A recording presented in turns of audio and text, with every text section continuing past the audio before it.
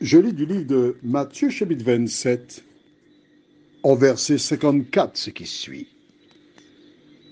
À la vue du tremblement de terre et de ceux qui venaient d'arriver, l'officier romain et ceux qui étaient avec lui pour garder Jésus furent saisis d'une grande frayeur et dirent, cet homme était vraiment le Fils de Dieu. Prions. Notre Seigneur et notre Dieu, nous te bénissons, nous te louons. Nous te rendons grâce et gloire pour le privilège que nous avons d'être enfants de Dieu. Nous réclamons l'œuvre du Saint-Esprit qui seul nous conduit dans toute la vérité et nous permet de comprendre ta parole. Merci pour cette grâce. Au nom de Jésus et pour ta gloire éternelle. Amen. S'adressant à ses disciples dans Matthieu chapitre 5, Jésus leur fait part de leur mission. Que dit-il à ses disciples? Vous êtes le sel de la terre. Vous êtes la lumière du monde.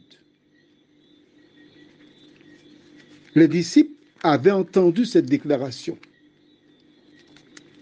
mais ils ne comprenaient pas véritablement ce que Jésus attendait d'eux. Aujourd'hui, de nombreuses personnes disent, déclarent être des chrétiens, mais ces personnes ne connaissent pas pour la plupart ce qu'est un chrétien et quelle est sa mission.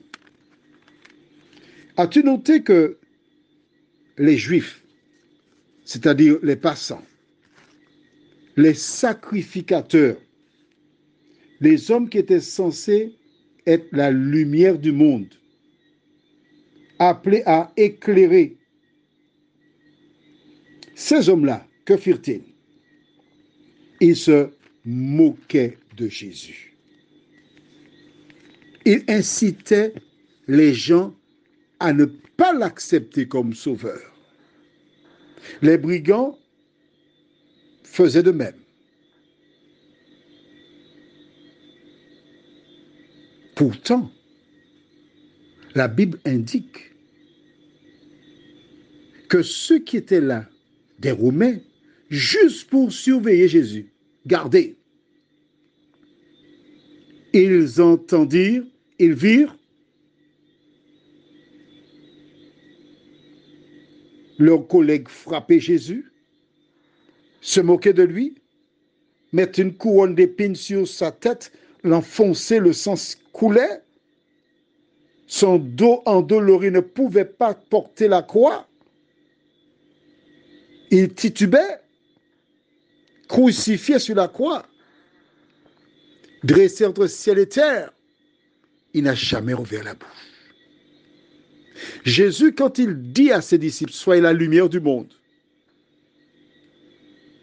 donna son testament lors de son décès. Car à travers la vie de Jésus et sa mort, il délivre un puissant message si éloquent que la Bible déclare que ce qu'on appelle les païens, ceux qui n'étaient pas des juifs, qui avaient juste la responsabilité de veiller sur lui, le garder. La Bible déclare qu'ils furent saisis d'une grande crainte et dire cet homme était vraiment le Fils de Dieu. Quel contraste. Et ceux qui avaient la parole ne reconnaissaient pas que Jésus était le Fils de Dieu. Quelle leçon pouvons-nous tirer en ce matin? Les différents événements qui prennent place dans notre monde incitent des gens à lire la Bible.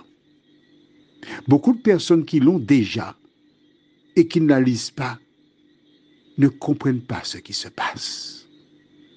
Mais le profane qui s'approche de Dieu maintenant comprend tout Parce que le Saint-Esprit le conduit dans toute la vérité. Voilà pourquoi ces gens reconnurent que Jésus était vraiment le Fils de Dieu. Qu'en est-il de toi? Prions.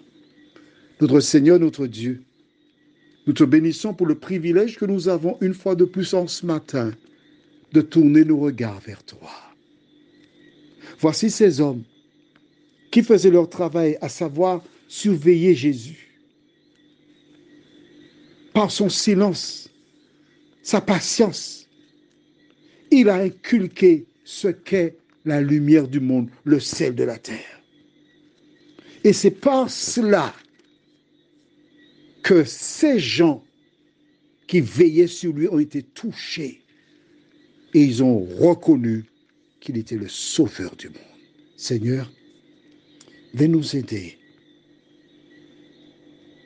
afin que nous ne tombions pas dans les pièges de l'ennemi, mais que nous puissions jour après jour être la lumière du monde, prier pour toi, afin que des vies soient sauvées. Cette grâce, nous te la réclamons au nom de Jésus pour ta gloire éternelle. Amen. Je te souhaite une bonne journée et que l'Éternel continue de te faire du bien.